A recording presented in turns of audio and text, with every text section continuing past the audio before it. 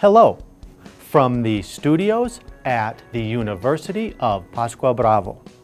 I am Gary Vernier and this is South American News Report.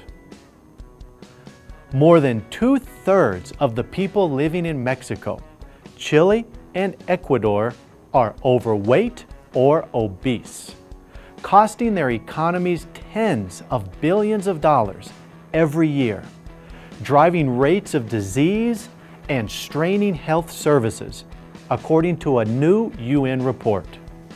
While the number of hungry people in Latin America and the Caribbean has been cut in half over the past 25 years, the region is now struggling to combat an obesity epidemic.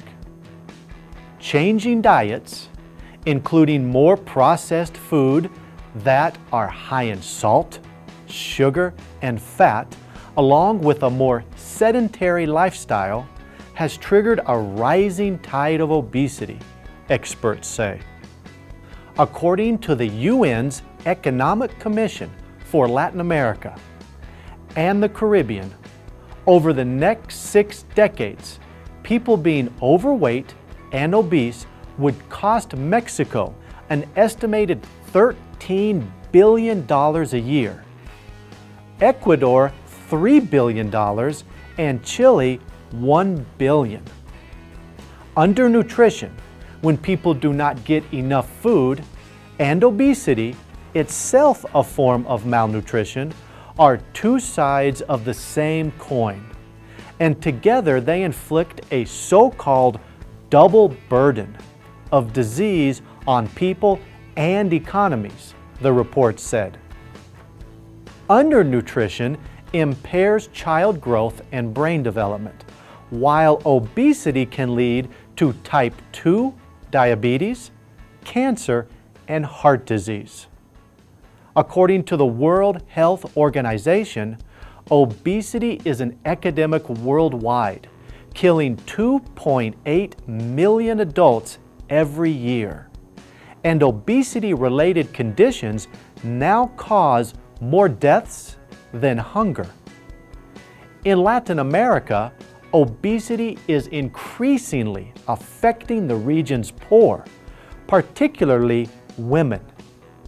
In Mexico, a country that faces one of the world's most acute obesity crisis, 74% of women are obese or overweight, compared with 70% of men, the report said.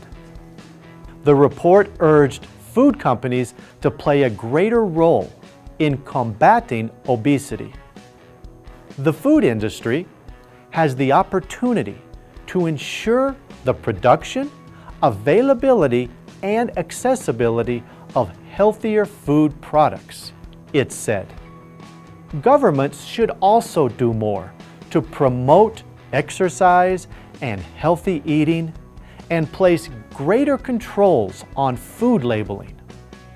The report noted Chile's efforts to combat obesity, including an 18% tax on sugary drinks introduced in 2014, one of the world's highest, along with laws that restrict the advertising of unhealthy foods targeting children.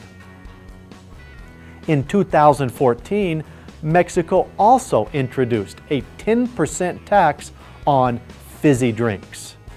And 2016 research by the British Medical Journal found that the sugar tax led to as much as a 12% reduction in sales during the first year it was implemented.